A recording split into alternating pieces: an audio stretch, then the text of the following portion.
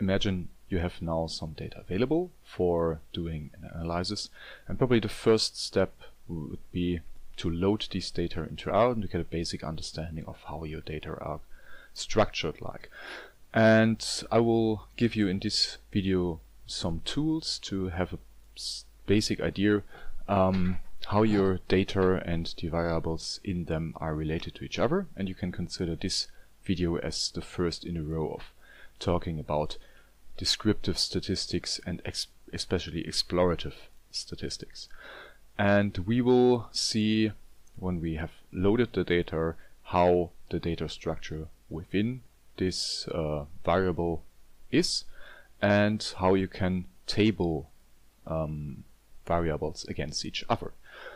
So essentially it is about contingency table or cross tables or pivot tables like they are called in the Excel jargon that you're probably more familiar with. Okay, to start off we have to at first load the data and I will use the Münsingen dataset that uh, describes the fibula of the burial ground Münsingen for that. So I make a variable, I call that Münsingen and into that I want to load this CSV file here and to do that I use the command read.csv and enter the name of this fibula dataset. And when I do it like that, you realize that I get an error here.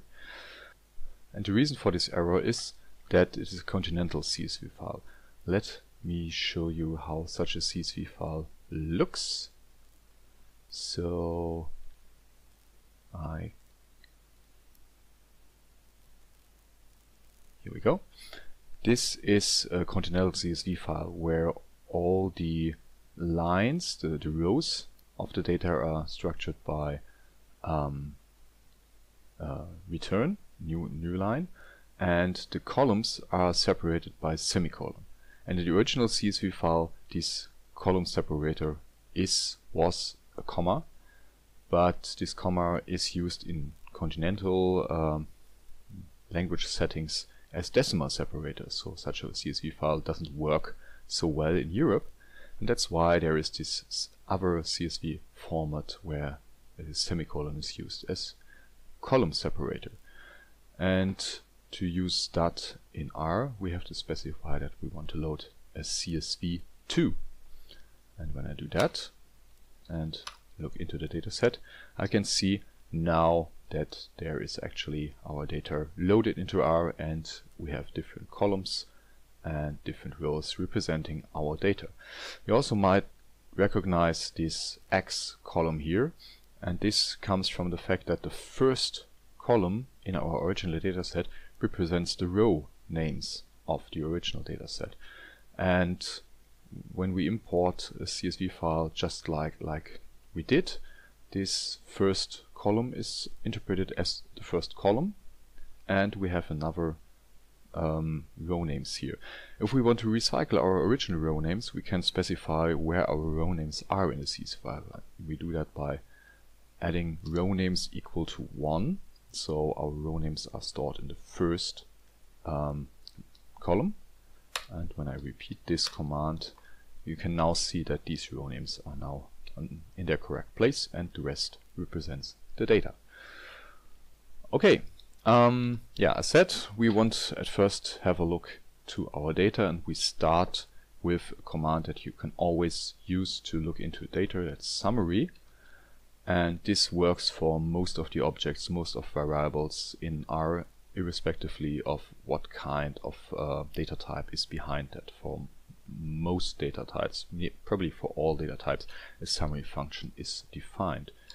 So if I put our Münsingen dataset in here, into the summary, I can see that I get some basic um, basic statistics for our different uh, columns here, giving us minimum first quantile, median, may, mean third quantile, and maximum value. In the case that we have numerical variables, and in the case that we have uh, um, nominal variables, so factor variables or strings, we get a count here, kind of a table. And that's also what we will use later on, a more sophisticated way to table um, instances of, of, uh, of data. But we can also look what type our Münsingen data set is. Oops, sorry. So here it gives us back that's a list, and that's really the basic type that's behind a data frame, because that's what Münsingen, the Münsingen uh, variable actually is from another point of view. So when I say class of Münsingen, I get back data frame, which in turn is in a basic sense a list in R. So when I use type of, for example, to one of the columns of Münsingen, I get back that the grave column, which is this one, consists of integer variables, while the class of that column is in this sense also an integer. So type of gives you the basic type and class gives you um, a derived class, derived type of the dataset. I will erase that here now. Another way to look on into your loaded data is the str command, which gives you the structure of the dataset. And here it's even more informative. We can see that we have a data frame of 17 ob observations with 17 variables, columns, and then a basic list of what the different columns consists of. And in the case of the Fibula scheme, we can see that we have a factor variable uh, with three levels, and here the internal storage of these three levels. So B is, I think, is stored as a 2, and so we can see here that we have four cases with uh, um, Fibula scheme La Tène B, and so on and so forth. So with this, you can already have a good idea how your um, data is structured and it might be a bit of a repetition from earlier videos but it's really worth to know these uh, tools to get an idea how uh, information is stored into different variables. It becomes important, for example, if you have more elaborated uh, derived classes, objects of, of elaborated classes to work with when you need to have an idea where the data that you want to work with is actually stored within the variable. But now let's come to table things. And we can start off by table, tab make a table from our Münsingen. Um, let's say from the Fibula scheme. And I use this speaking command table for that. And the result is what we already have seen before in the summary. We can see that we have, uh, when we make a table of that, 4 times Fibula scheme A, 11 times Fibula scheme B, and 2 times Fibula scheme C in our dataset. And I can now also, so this is just counting stuff, and now it becomes probably more interesting if we for example, table the fibula scheme against the number of coils of the fibulas. So here are coils. And now I can already investigate the data that I have from a more content-wise perspective. So I can see that um, fibula scheme La Tène A has a more smaller a number of coils here, while in Fibula B we have more coils at the individual um, fibulas, and in C we have only few cases, but this indicates also that we have rather more than less coils there. And with that you can already start answering scientific questions or explore the relationship of different um, data there. Let me introduce to you another function that is called ftable. And if I use it like that, it essentially gives you the same result. But the thing about ftable is, and we can look that up here, it produces on the one hand flat contingency table, that's fine, but on the other hand it also um, can look the help up later on. It also understands the formula notation that's used widely in R. And this formula notation consists of that you giving the data that you want to work with and specifying the relationship independent from the data. So let me say I want to table the data Münsingen. I want to see the relationship of fibula scheme in respect to or dependent on the number of coils. And this is what the tilde here is saying. And you will see this kind of notation later on more often because it, yeah, it describes the relationship and it's not so much data centered but more um, analytical centered. When I do that, I get the same here. Um, now it's turned around. If I also turn around the variables here, we get back the um, original table that we had here.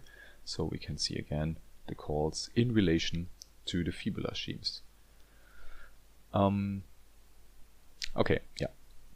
What you can also do with this ftable command is to make more elaborated uh, tables. For example, let's say we want to um, we want to table this also in relation to the grave. So I can add the grave column here, the grave variable, and the fibula scheme, and I combine them with a plus sign. And when I do that, I have a multi-dimensional table, so to say. So we have still the coils here, and then the grave, and within this grave, the fibula schemes are listed. So with that, you can make multi-dimensional uh, pivot tables or contingency tables and have a better control about what is table against what. And I can imagine that you will find some use cases for that. Okay, now having introduced that, let's switch to the original table command and work with a table more specifically. So we use this table of fibula schemes against coils and I will put that into a variable that I call my table. And if I throw the summary command onto that, so now I can see that this gives a summary of this table. I can also use class my table. You can see that it has now a different class. It's now of class table. And this results in the fact that the summary function gives you a different uh, result, different um, informations back as if we would just take a summary, uh, make a summary of our original data. And this time the summary just gives you, we have 17 cases in the table, we have two factors, which is the fibula scheme and the coils, and there's also added a test of independence, a chi-square test, which we will talk about in a later episode of that.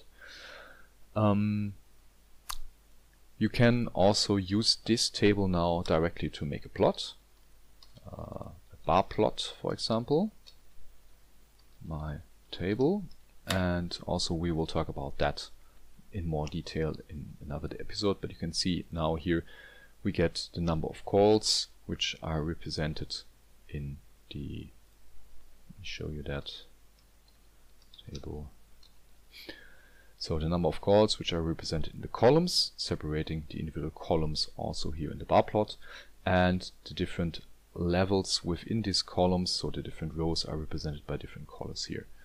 And with that also, beside the pure table, you get already a good overview about the data distribution in respect to these two factors here.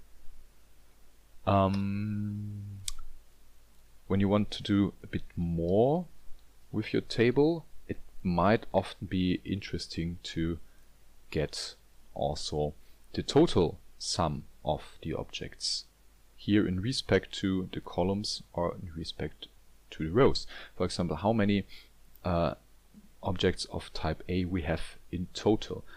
and we could all we could always do tables uh, just re in respect to the individual um, variables that we used, like we did before here in the most basic case of table up here. But if we want to have them at the same time uh, displayed from my table, we can use the command add margin on my table. Oops. I misspelled at margins, sorry. And now you can see we have the same table, but now an additional column and an additional row giving you the total sum of that. And we can also use the command margin table. Oops, sorry. And this calculates the same numbers like here. If I just put it in like that, it gives you this margin, so the total sum of that. But I can also specify that I want to have the margin from the rows. Remember, rows are at, at first there are always rows and at second there are always columns in R. So if I specify one here, or make that more speaking by saying margin should equal to one, which is the same, um, I get this table giving me the row sums and if I say margin should be 2 I get the column sums here. And I could also store that into variables. Let's say my table sum should be this. My row sums should be that. And my call sums should be that. And now I can produce um, tables in respect to the proportion of the objects. There. So let's say I have my original my table and I divide that by the total sum. So this is this. Then I get the individual cells and the total table now will sum up to 1. So in every cell there's just a percentage of how many cases fall into the specific category. So we have 5% of fibulas in our dataset that are of fibula scheme A and have three coils. We could also bar plot on that. And you can now see that the y-axis has changed to percentages. So, and if we want that specific row-wise or column-wise, we can use another function that is called prop table. And if I throw in my table here, it gives us exactly the same result, but now I can also specify on what margin this prop table should relate on. So if I use the 1 here for row-wise, you can see that now all the rows are summing up to 1. And if I do the same column-wise with margin 2, now all the columns sum up to 1 and I can use that again to make a bar plot. And now you can see that all the columns sum up to 1 as we had here in the table. And with that you can compare percentages of or ratios within individual cases here to each other irrespectively of uh, the absolute numbers there. Um, we will see that again in when we talk about bar plots, probably the same example here, but yeah, I think it also fitted in here and um, it's just in addition to the original idea that we with this prop table you can have a numerical representation of the structure of your data. You can now see, for example, that within uh, uh the situation with four coils, 30%, 40% fall into La Tène scheme A, 40% also in B, and 15%, 14% in Fibula scheme C. Okay, that's all for now. And in the next episodes, we will talk about more about graphical display and not so much any longer about the tables.